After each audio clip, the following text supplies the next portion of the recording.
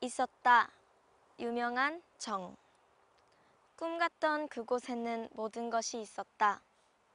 발이 닿는 곳마다 꽃송이는 방긋 피어 있었고, 눈길이 닿는 곳마다 생기가 가득하였다.